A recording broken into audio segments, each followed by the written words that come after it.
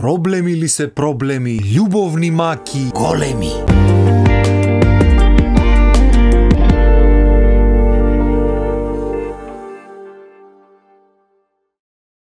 Добре дојдовте во уште една епизода за врските. Предходните неколку епизоди набројавме многу работи за мажи, за жени, за врски, за љубомори, за чуда, за се. Е сад денес ќе продолжиме со исто темпо. Дишо да не мислевте нешто ново ќе збораме. Не бе батуле, ова е најбитно во животот. Љубов ако немаш, ако не се погодиш љубовта, ништо, тоа е. Са ништо. Не е ништо, ама по друго е ме сваѓај. Многу е поубав, полесен е живот. Само ако погодиш, оди дурне да погодиш, паѓа косата, тоа е. Темата во минатата емисија беше технички љубомор љубоморат. Не знам оти, ама како се менват генерациите се поки поки им. Сам не знам, знам оти луѓето да се сменет и скроз, ма не е дека ни порано ја немаше. За како што кажавме многу пати предходно, и ова емисија ќе повториме, и уште појако џаве повторваме, оти човек дур не осети на своја кожа, дур не свати сами од џаве му верглаш, ама добро. Кој те прашаме, батули? Јас сум тука да кажам, ако ти чини арно, ако не биди здрав и жив. Битно зборам за твое добро. Сакаш свати го така, сакаш не го сваќај, тоа е твоја работа. Значи да повториме апел до мажите. Шо помалце зборање, то поубаво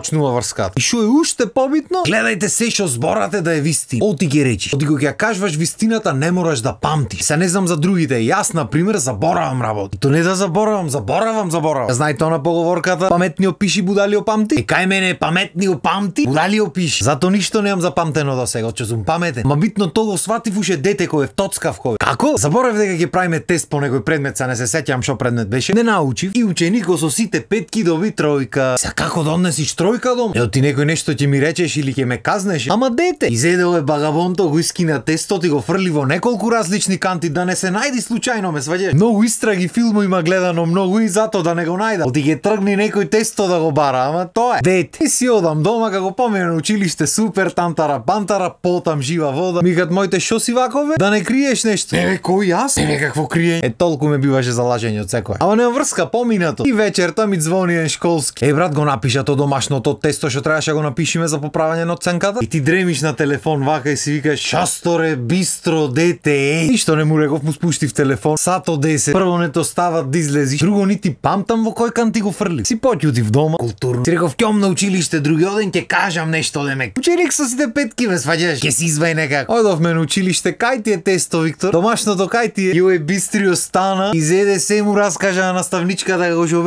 од збор до збор. Го зедов, го искинав, го фрли во различни канти се пукна од смеење луѓе. Му се јави наставничката на моите се пукна од смеење. Дома го си одов и тие се пукна од смеење. Е толку сум бистар. Битно ше тогаш сватив дека џаве не ме бива за лажење, тоа. Ти не е само да знаеш да излажиш, треба и да запамтиш што си излажал, ме сваѓаш. Ти на моментот може ќе окажиш, ама докога ќе трајто. Се ке речите оти ова битно во врските, што има врска тестот твој искина ти памтењето со врските. Не сте свесни колку има врска. Е. Значи не сте свесни. Како што рековме, повториме жените, меморијата овде шуме во тие хардискоите 5000 што ги имат му е најакото оружје. И та се што ќе му кажеш во животот, сите случки можни сите ги памти. Ма жените не се бистри деца кон нас, бе, паметни се брат. Има одредени мемори што ги чуваат само за напад, а има одредени мемори што ги знаат точно од збор до збор како што си му раскажал приказната и ги памта. И од време на време, кога е се супер, кога си врвите убо, по некој рандом момент кога му чкрапни чкрапалецо, и почнуваат муавет со истите тие приказни, ама како да не ги знаат. Демек не памти така кој беше ќе те подпраша така рандом. Или па некоја тема се збора, што има некоја ситна поврзаност со некоја таква случка или личи на некоја таква случка, и ги нафрлат некој муавет демек та не памти ти да му кажи. Затоа е битно да не лажиш. Ти кога ја кажуваш вистината, дури да забореш како беше приказната, точно не можеш да излажиш. Што ти ја кажеш исто, може ќе пропуштиш нешто може ово, ама тука ќе види. А ако си лажел во приказната, треба да ја памтиш цел живот. Оти девојка ти ќе глуми дека не ја знае, ти ќе почнеш да ја. И ако фатиш некој друг правец или ако смениш нешто во приказната, нема да ти изреагира одма. Ќе почека да види дога ќе менваш. Се некој убого кријат тока и некој може да осетиш вриење во меѓувреме, пошто некој чупиња знаат да дишат длабоко и да чекат, да тлеат внатре. Ама некој вријат, некој не може, та седи, пробва се воздржва, ама не може, ја гледаш дека нешто не му е ваш. Е тоа го ти се случи батуле, ако раскажеш приказна што та точно знае поинако. Ехе, не со здравје си го носи. Има да си го носиш од тука комплиментарно. Брат, значи не си свесен. Може да ви е супер со години предходно. Никаква кавга да немате, никаква сумња земја, ништо, све да биде замерак, се супер да биде. Дојде таков момент, значи ќе ти чкртни се до тогаш се што имаш убајни бајни направа, се ќе ти чкртни, не важиш ти не постоиш покеват. Од тука натаму во следниот период дур се смири, а некои не се ни смирват после тоа. Значи рачунај ти си врерна пикнати тате печивате, те роста, готово. Ќе ти ги преиспита сите зборови, сите одлуки. Се што имате поминато заедно си тубе моменти. Па дали ти ме сакаш воопшто? Дали имаше барем нешто вистина од ова што сме ние? Не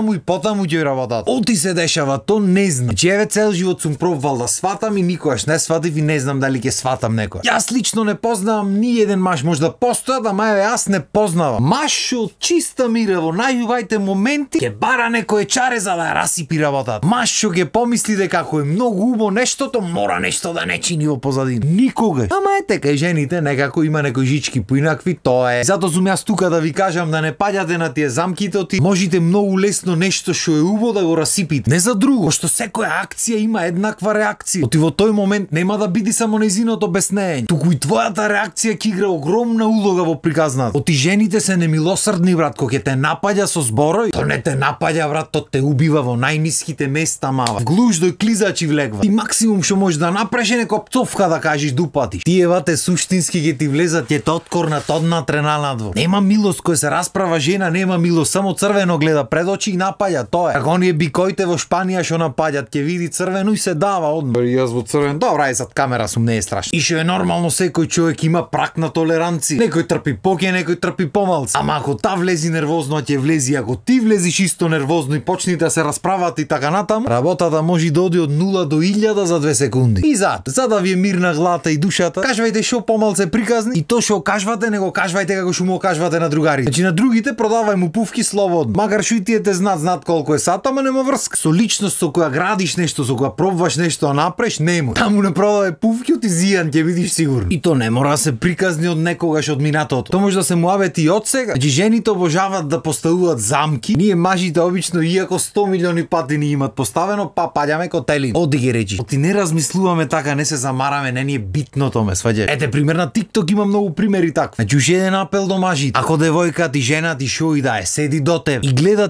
тиктоци со некои сумљиви звуци што може да ги играт чупиња и така натаму. Некој трендој да не рече. Немој да се врти тебе брат. Зашо се вртиш ги немаш видено тиктоците како ги местат женските ќе те снимаат ќе опушти звукот ќе се сврти жив ќе те фат. И после тиктокови е крив врска да ви расипа. Не е до тиктоку. Значи прво и основно нема ти што да гледаш такви видеа, што се вртиш на тој звук. Значи ако сакаш да видиш работи си има начини, не мора на тикток да ги гледаш. И да ги гледаш и да сакаш да ги гледаш, кога ги пушти девојка и не се врти бе брат. Мислам ако сакаш мир во куќата, ако не гиш мир во куќата врти се слободно. Ако си толкав машал алда ти. Е, Трауми се тие брат. Што мој жена ти направи? Никој не може. Нема многу сме различни како суштество. Значи жените се многу поемотивни од мажите. Нешто се поемотивни него се со емоција земат, секој збор, секоја акција, секоја реакција. Чи се што ќе направиш, што ќе напишеш, што ќе речиш со неа со други луѓе се земат емотивни. И затоа многу поке се лутат и многу поке при срце си земат. И не можат да ги разберат акциите што мажите ги прат рандом. Оти многу често мажите не прат акции со некаква намера или или со некаква емоција. И што нема емоција туку да не ни размислуваат, ме сваѓа. Пример не знаме, ќе излезите со женската набавки, нешто ќе правите в маркет или на кафе или шо и да. И се ќе дојде пример келнеро. Повелете дечки, маш ко маш, дали го знаеш или не, келнеро не е битно, ќе направиш некоја шала, какара, кикир интересно да. И то не е проблем. Освен ако не дојде келнер, истата шала да ја направи. Значи без никаква намера, без ништо, разбираш, ништо. Едноставно таков си збораш глупост. Комплетно друга ситуација. Значи ја направи нешто такво, женска ти одма мен во фацата. Може да нема ти речи, може да немаш